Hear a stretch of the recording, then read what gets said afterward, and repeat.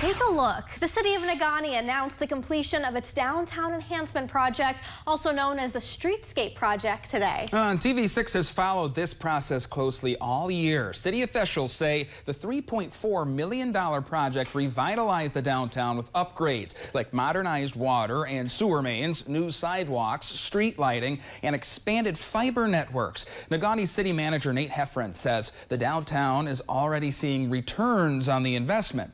You can see in downtown Negaunee, new businesses are showing up. Uh, businesses that have been existing here for years are making uh, investments in their own buildings and cleaning up uh, the community as well.